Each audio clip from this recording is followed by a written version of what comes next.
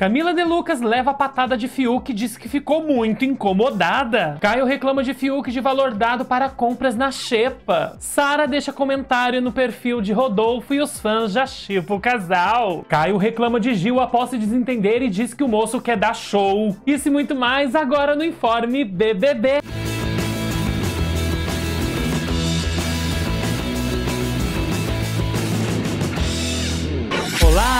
Adriano Tavares e você está no canal Deu o que falar, que a minha, sua é a nossa dose diária da vida alheia. Sejam bem-vindos e bem-vindas para mais esse momento onde nós temos a chance de desabafar. Sabe aquela coisa que a gente fica assistindo esse programa doidinho da Silva, que é o BBB, e deixa a gente mais doido ainda? Então, gente, aproveita que o espaço para poder desabafar, porque olha, o clima esquentou hoje entre o Caio e o Gil, eu tô falando que essa amizade é muito esquisita, eles se aproximaram muito rápido, mas deixa aí, gente, a sua opinião já vai. Já vamos começar assim? Já dando a sua opinião sobre essa amizade repentina entre Gil e Caio. Mas antes da gente começar então, gente, os balacobaco lá do BBB dessa tarde de sexta-feira, eu peço like, amigo, like generoso que só você pode dar e ajuda por demais aqui no crescimento do canal. E também, se for novo ou novo, ó, chega mais, aproveita para poder se inscrever e aí não esquece de ativar o sininho para ser notificado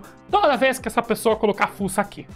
Então bora lá, gente. Antes da gente falar os perrenguinhos que já aconteceram hoje, Vamos lembrar uma, uma, ceninha ontem que aconteceu lá na mesa BBB. Tem um mosquito aqui, gente, de novo. Oh, meu Deus do céu. Oh, tava tão bom. E aí, gente, da participação da Thaís. Ela foi e tirou a sua amiga do coração, Vitube, do pódio dela. Ela surpreendeu os apresentadores. É, na verdade, gente, ela tá vendo aqui já que a Vitube, ela não vai ter chance para vencer esse programa. E ela tá sendo eleita, vi, né, como uma das maiores vilãs além de jogadora. Vocês concordam que ela é jogadora? Eu sempre faço essa pergunta, né? Vocês concordam que Vitube é jogadora? Mas enfim, gente, daí ela foi falou o seguinte, presta atenção. Ai, gente, a, a Thaís falando, ai, gente, o que me surpreendeu foi a Vivilã. Como assim? Ó, mas sinceramente, eu acredito em todas aquelas histórias, tá? Eu acredito em todo mundo. Mas eu me surpreendi aqui, sabe? Fora com a Vivilã. Gente, ela tá vilã. Aí, gente, ela na verdade contou que montou duas possibilidades para estar tá no pódio, ou seja, para poder levar esse prêmio também. E aí o público ficou choquito com farofa. Ela foi e colocou três nomes: João, Camila e Gil. Aí ela foi falou: João, Camila e Gil são pessoas que eu gosto muito e que o público também gosta. Em relação que o público gosta, para deixar bem claro. Aí ela voltou a falar da VTube e falou assim: olha, é, porque a VTube estaria no meu pódio, sabe, gente? Tipo assim, ela ia pouca, sabe? Sei que lá, tananana. Mas eu acho que ela vai. Ela não vai chegar. Ela não vai chegar, não, gente. A, a, minha amiga do coração não vai chegar na final, não. Ai, meu Deus do céu. Mas olha só, acho que quando ela for pro paredão, ela vai sair. E olha, Thaís, você está completamente recheada de razão. Nós, o público, estamos só esperando essa oportunidade dela cair no paredão. Tá difícil, não é não? E hoje, gente, lá no Raio X, o João falou assim que está com 200 milhões de pulgas atrás da orelha dele. É, porque ele achou muito estranho. Tanta gente lá no VIP, então isso com certeza tem a ver com as próximas dinâmicas lá da formação do paredão, que ele tá mega curioso pra, pra descobrir quais são. E ele também, gente, disse assim que ficou mega feliz com a vitória da VTube. Ele falou assim, olha, ontem teve prova do líder e Vivi ganhou. Olha lá pra você ver.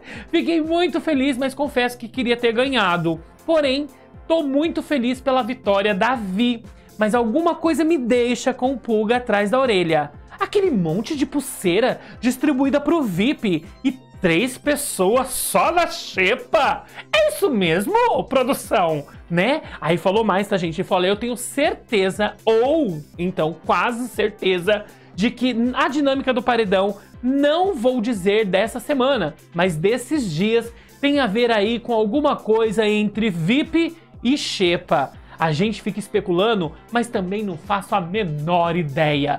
Olha, mais ou menos, João. Não tá assim, tá, tá, tá morninho pra frio esse seu pensamento. Mas o barato é isso, né, gente? Fazer com que eles pensem. Tem que pensar porque eles não têm nada pra fazer mesmo. Então vamos colocar o cérebro para funcionar. E outra pessoa que também, gente, estava completamente desesperada lá fazendo o raio-x Foi Gilberto que sente com toda a certeza deste mundo e deste universo todinho da galáxia, gente, que ele vai estar assim no próximo paredão. E ele tá totalmente sentido, mexido. Olha só o que foi que ele falou.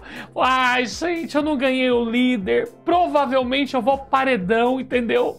Fiquei muito abalado ontem, porque fui muito bem. Por quatro pontinhos eu não cheguei na final. Ele falou mais, tá, gente? Falou: olha, fiquei, sabe, muito mexido. Chorei pra caramba ontem, porque eu queria ter ganho, né?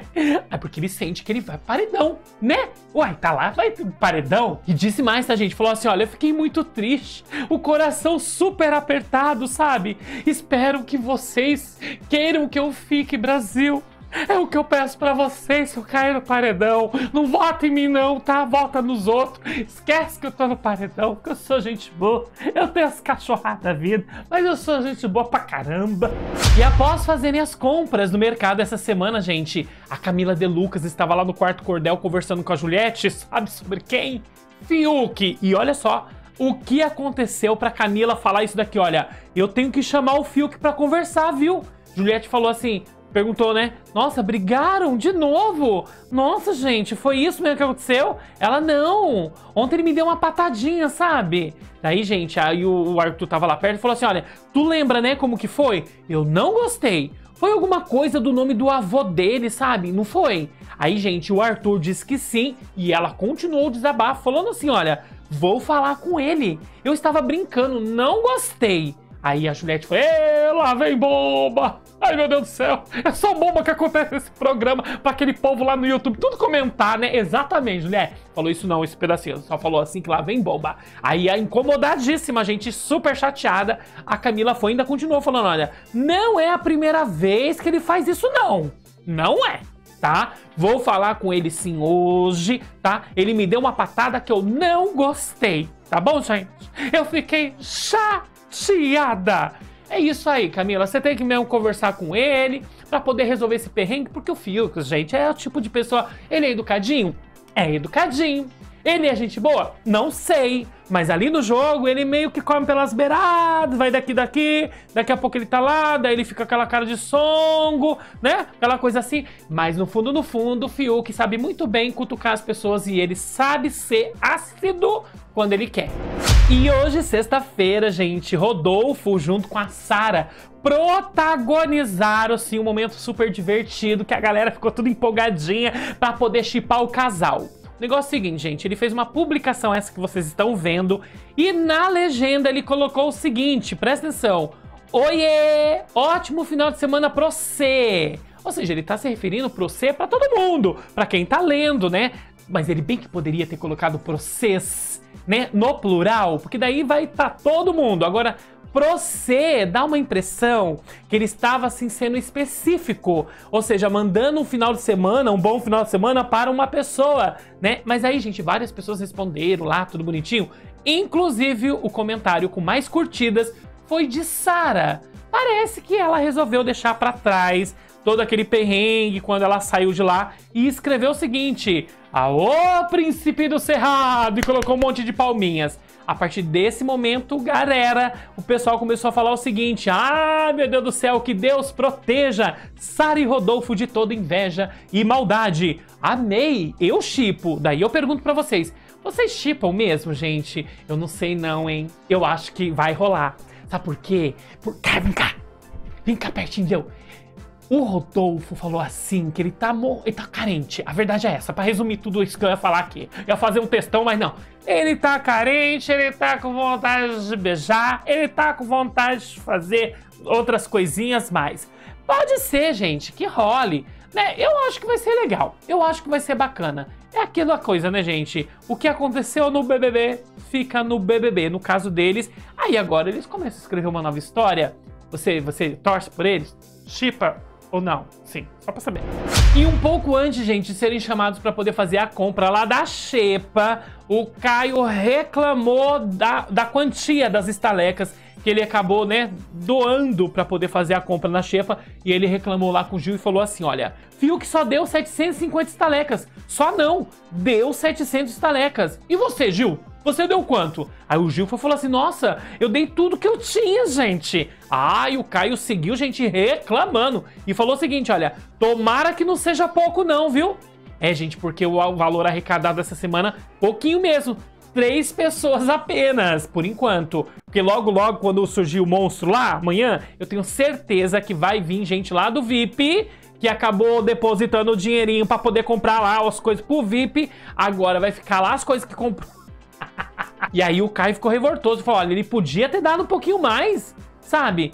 Quando ele não tinha um centavo, que ele estava devendo pro programa 500 estalecas, dê estaleca para ele, sabe? Beleza, não falei nada. Deixa ele com essas estalecas dele. Tá pensando o quê? Custava dar um pouquinho mais. Só que eu não sei, gente. Não sei quantas estalecas o Fiuk tinha. Quantas estalecas? E olha, ali em seguida, gente, ele começou assim a enumerar as refeições que eles vão fazer até domingo, sabe? Nossa, é verdade, né? E ele falou: olha, ele podia pelo menos ter dado umas mil estalecas. Então o Fiuk tava rico.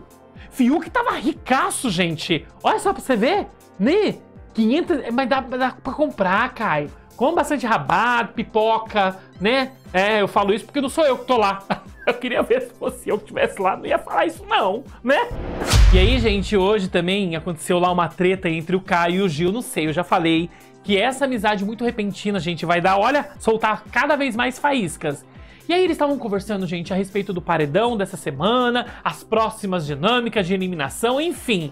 Daí, gente, o Caio teve um momento que ficou super mega blaster irritado com o Gil, porque o Gil estava discordando ali, né, dos argumentos, das ideias do rapaz. E aí o Caio perdeu a paciência e falou o seguinte, olha, pô, você fala suas milhões de ideias, Gil, ninguém apela. Pô, na hora que a gente fala nossa, você acha ruim? Você não concorda? Aí o Gil foi e falou o seguinte, gente: Não, Caio, você falou a mesma coisa ontem e eu não quero contrariar dizendo assim, olha, não está certo, sabe? Só que teve sim coisa igual. Na verdade, gente, o, Gil estava explicando que as dinâmicas do BBB 21, ou seja, dessa temporada, apesar de não serem exatamente iguais do BBB 20 do ano passado, foram semelhantes. E aí falou o seguinte: agora cada um é cada um, entendeu?